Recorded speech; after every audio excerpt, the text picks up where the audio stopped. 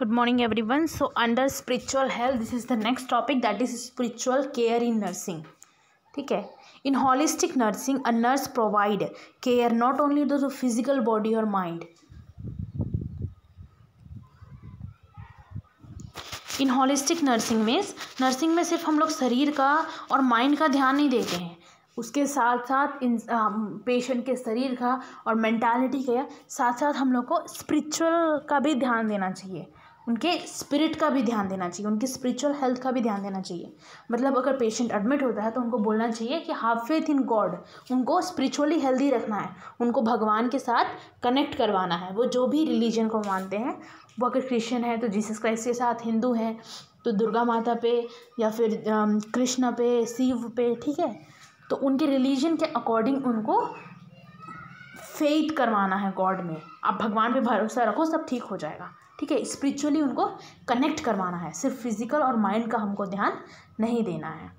Meeting the client spiritual need can decrease suffering of aid physical and mental being अगर वो भगवान को ध्यान करेंगे या भगवान को याद करेंगे तो उनका जो मैंटालिटी है, वो अपने पेन से, उनके दर्द से या उनके तकलीफ़ से थोड़ा बहुत डिस्ट्रैक्ट हो जाएगा और वो जब पावरफुल या सुप्रीम बींग पे, भगवान पे भरोसा करेंगे तो उनका थोड़ा सा डिस्ट्रैक्शन होगा तो उनकी तकलीफ़ जो है वो कम होगा। और वो जब भगवान पे विश्वास करेंगे तो उनका जो बिलीफ सिस्टम है, उनका जो भरोसा है कि भगवान हमको ठीक कर देगा, वो बिलीफ सिस्टम के कारण वो ठीक हो जाएँगे। ठीक है? बिलीफ सबसे इंपॉर्टेंट और सबसे पावरफुल पावर है। मतलब अगर हम लोग सोच लें या विश्वास कर लें उस चीज़ पे तो वो वैसा ही होगा, ठीक है? बहुत इंपॉर्टेंट फैक्टर है। अगर पेशेंट सोच लेगा कि वो ठीक होगा तो वो डेफिनेटली ठीक होगा, क्योंकि उसका बॉडी के हॉर्मोन्स उसके अकॉर्डिंग काम करेंगे। उसके सोच उनके, उसके सोच के अकॉर्डिंग काम करेंगे, ठीक है? To implement spiritual care, the nurse need to be skilled in establishing trustworthy trustworthy nurse patient nurse client relationship अगर हम लोग चाहते हैं उनका स्पिरिचुअली केयर करना पेशेंट का तो हम लोग एक जो नर्स है और पेशेंट है तो नर्स पेशेंट रिलेशनशिप जो होता है वो ट्रस्ट वर्थी मीन्स भरोसे के लायक बन के उनका सब प्रॉब्लम को सुनना है ठीक है? और उस चीज़ को मतलब सीक्रेट रखना है, किसी के साथ बताना नहीं है।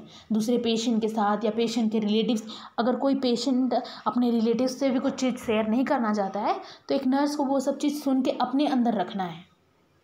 ठीक है? दूसरे को उसका प्रॉब्लम जो है, उनका प्रॉब्लम वो दूसरे नर्सेस को, दूसरे डॉक्टर्स को जो उस पेशेंट का केयर नहीं कर रहे हैं, उनके बारे में नहीं बताना है। ठीक है? जो पेशेंट का केयर कर रहे हैं, उनको पता होना ज़रूरी है, लेकिन जो पेशेंट को केयर नहीं कर रहे हैं, उनको, उस पेशेंट के बारे में हमको नहीं बताना है। Because the involvement in the meeting of spiritual need in a person for both the nurse and client nurses need to communicate with sensitivity and empathy to have good understanding of their own value तो जब patient से nurse बात करती हैं तो उनको अच्छे से सेंसिटिवली बात करना चाहिए। ऐसे बात करना चाहिए कि वो सब चीज़ अपना बताए और उसके साथ साथ हम लोग को उनके भरोसा को हम लोग को कायम भी रखना है, ताकि वो नेक्स्ट टाइम जब उनको कोई प्रॉब्लम हो तो वो सब नर्सेस से, या सब डॉक्टर से अपना प्रॉब्लम बता सके। अगर हम उनका प्रॉब्लम को सब तरफ़ फैलाएँगे या मज़ाक उड़ाएँगे, या फिर दूसरे पेशेंट लोग मज़ाक उड़ाएँगे उनके प्रॉब्लम का, एक पेशेंट के प्रॉब्लम का तो क्या होगा, वो नेक्स्ट टाइम उसके पास उतना एबिलिटी नहीं बचेगा कि वो दूसरे नर्स पे ट्रस्ट करके अपना प्रॉब्लम बता सके। तो एक गुड अंडरस्टैंडिंग के साथ, एक गुड सेंसिटिविटी के साथ हमको उनका प्रॉब्लम को सुनना है। Many client have spiritual strength that the nurse can nurture to help them attain or maintain the feeling of spiritual well-being to recover from illness and to face peaceful death. तो बहुत सारे जो patient रहते हैं, वो spiritual health से connect करते हैं स्पिरिचुअल बीइंग से, भगवान से कनेक्ट करते हैं और अपने आप को ठीक करने में भी हेल्प करते हैं और एक नॉर्मल और पीसफुल डेथ के लिए भी, अगर वो मरने वाले भी रहते हैं, उनका डेथ भी होने वाला रहता है तो वो शांति से मरते हैं means without troubling them self वो अपने आप को ट्रबल नहीं करते, अगर वो स्पिरिचुअली कनेक्टेड हैं तो। ऐसा बोलेंगे कि मैं कहीं नहीं जा रहा हूँ, मैं भगवान के पास ही जा रहा हूँ और मैं बहुत सेफ़ प्लेस में जा रहा हूँ, जहाँ पे मेरे को बहुत सारा प्यार और बहुत सारा प्रोटेक्शन मिलेगा भगवान से। वो स्पिरिचुअली कनेक्ट होकर उनका डेथ होगा, ठीक है? वो ऐसे हड़बड़ा के या फिर या फिर स्पिरिचुअली अनहेल्दी होके उनका डेथ नहीं होगा, अगर वो स्पिरिचुअली कनेक्टेड रहेंगे तो। It is important for the nurse to develop a broad concept of spirituality. A nurse should know the different aspects of spirituality, which are explained as follows. तो एक नर्स को बहुत सारे चीज़ के बारे में पता होना चाहिए स्पिरिचुअल हेल्थ और स्पिरिचुअल वेलबींग के बारे में कैरेक्टरिस्टिक ऑफ़ स्पिरिचुअल वेलबींग क्या क्या इंडिकेशन है वही चीज़ बार बार है ठीक है क्या क्या इंडिकेशन है या क्या क्या गुण होना चाहिए एक इंसान में? अपने में शांति रहे कंपेशन विद अदर दूसरों से भी अच्छे से बात करे रिवरेंस ऑफ़ लाइफ अपने लाइफ को एक गिफ्ट के तौर पे एक्सेप्ट करे। ग्रैटिट्यूड मीन्स उनको प्राउड होना चाहिए अपने लाइफ पे, अपने करियर पे, अपने रहन सहन पे, उनको हर चीज़ पे प्राउड होना चाहिए एक इंसान को। Appreciation of both unity and diversity ठीक है? वो सब चीज़ का अप्रिशिएट करे। जैसे कि यूनिवर्सिटी एंड डाइवर्सिटी का मतलब होता है एकता का भी और विभिन्नता का भी, ठीक है? बहुत सारे कल्चर है, बहुत सारे रिलीजन है, उसका भी रेस्पेक्ट करें और एक, हम एक इंडियन है, हम लोग एक नेशन के हैं तो उस यूनिटी का भी रेस्पेक्ट करें। ह्यूमर विजडम ह्यूमर मीन्स उनको, उनका ह्यूमर अच्छा होना चाहिए। विजडम मीन्स वो विजडम मीन्स वो पीसफुल हो, ठीक है? जेनोरसिटी मीन्स जेन्यून हो अपने साथ, वो अपने साथ कुछ गलत ना करे। Ability to translate the self capacity for unconditional love उनके साथ कोई कुछ भी करे, लेकिन क्या है? हमको चेंज नहीं होना है। तो वो इंसान अनकंडीशनल लव दे सके किसी को, वह, वो लोग, वो इंडिकेशन है स्पिरिचुअली हेल्दी होने का। ठीक है? Know what are the spiritual need spiritual need means हमको क्या क्या स्पिरिचुअली चाहिए? हम क्यों भगवान से प्रेयर करते हैं? हम क्यों भगवान के पास जाते हैं? हम क्यों भगवान पे बिलीव करते हैं? नीड ऑफ़ लव क्योंकि हमको प्यार चाहिए, हमको आशा चाहिए।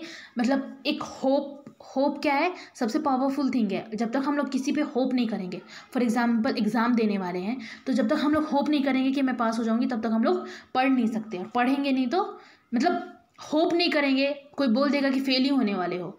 तो बिना आशा के हम लोग पढ़ेंगे क्या? नहीं। नीड टू ट्रस्ट हमको भगवान पे ट्रस्ट होना चाहिए, ठीक है? जब हम ट्रस्ट करेंगे, तब हम मेहनत करेंगे और उस काम को करेंगे।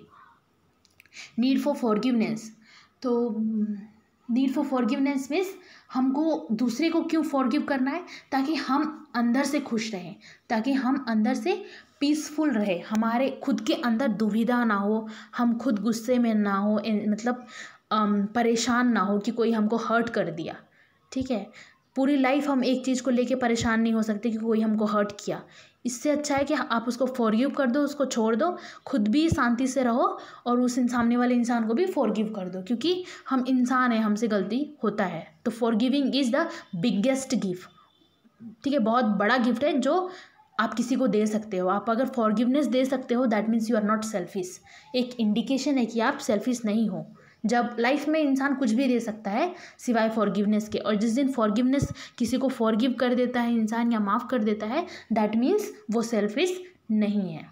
ठीक है? Need to be respected Bible में लिखा हुआ है, आप जितना लोगों को फॉरगिव करोगे उतना भगवान आपको फॉरगिव करेगा। आप जितना भी गलती करो, आप दूसरे को फॉरगिव करोगे तो भगवान आपको फॉरगिव करेगा। Need to be respected and valued need for dignity हम अपने सेल्फ रेस्पेक्ट के लिए स्पिरिचुअली हेल्दी रहना चाहते हैं। फॉर एग्ज़ाम्पल अगर हम लोग दूसरे से बात कर रहे हैं, उनसे झगड़ा करेंगे, ठीक है? उनसे अच्छे से बात नहीं करेंगे।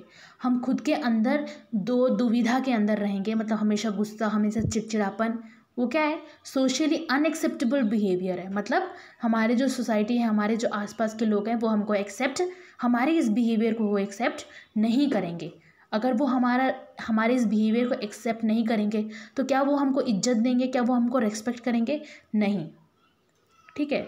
तो अपने सेल्फ रेस्पेक्ट के लिए, अपने डिग्निटी के लिए हमको अपने आप में पीस रहना है पीसफुल रहना है, शांति से रहना है जॉयबल रहना है। और दूसरे के साथ भी शांति से रहना है और एक गुड कनेक्शन इंटर कनेक्शन के साथ रहना है।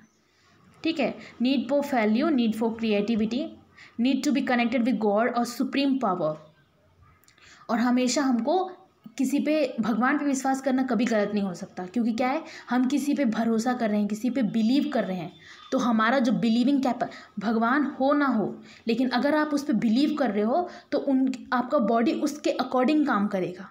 फॉर एग्ज़ाम्पल मैं हंड्रेड परसेंट बिलीव करती हूँ कि कुछ ना कुछ भगवान लाइफ में सही करेंगे अच्छा ही करेंगे। तो ये बिलीफ अगर ऐसा रहेगा तो उसके अकॉर्डिंग मैं प्रेशर बिना प्रेशर के काम करूँगी। और बिना प्रेशर के कोई काम होता है तो वो डेफिनेटली सक्सेस मिलता है वहाँ पे। बिना प्रेशर के कोई काम होता है तो। ठीक है? बिना प्रेशर के और पूर फुल बिलीफ के साथ। किसी पे अगर हम लोग पूरा बिलीव करके, बिना प्रेशर के हम लोग अगर पढ़ते हैं तो डेफिनेटली बहुत अच्छा रिज़ल्ट आएगा। तो एक इंडिकेशन है स्पिरिचुअली हेल्दी ये हमारा एक नीड है, हमारा ज़रूरत है भगवान से या सुप्रीम बींग से या इस यूनिवर्स से। Need to be connected with the God and supreme power and being rather than one self हम जितना भगवान पे विश्वास करते हैं, उतना हमको अपने पे भी विश्वास करना पड़ेगा। ठीक है?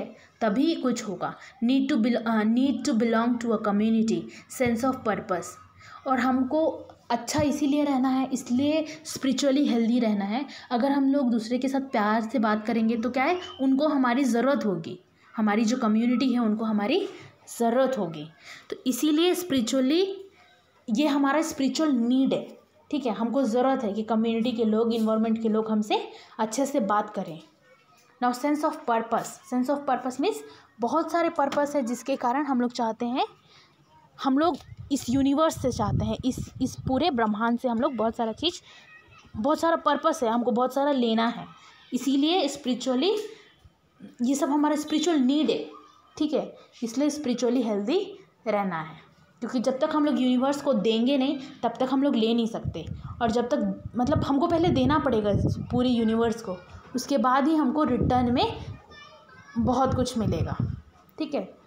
तो ओवरऑल स्पिरिचुअल हेल्दी रहने का मतलब ये है कि बिना टेंशन के रहना और सब पे ट्रस्ट करना कम्युनिटी पे ट्रस्ट करना, लोगों पे ट्रस्ट करना, स्वार्थी नहीं होना, ये सब इंडिकेशन है और ये सब गुण है स्पिरिचुअली हेल्दी रहने का। Okay thank you